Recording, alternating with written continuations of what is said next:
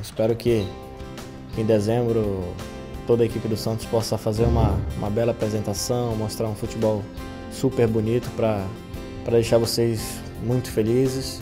E aqui vai a minha solidariedade por tudo que aconteceu e deixo um grande abraço a todos. Valeu. Rick Coffee Japan.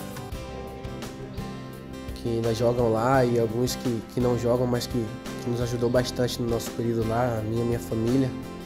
E a gente fica na, na torcida e, e pedindo bastante a Deus que. Então desejo muita sorte, muita força para que o país possa se reerguer.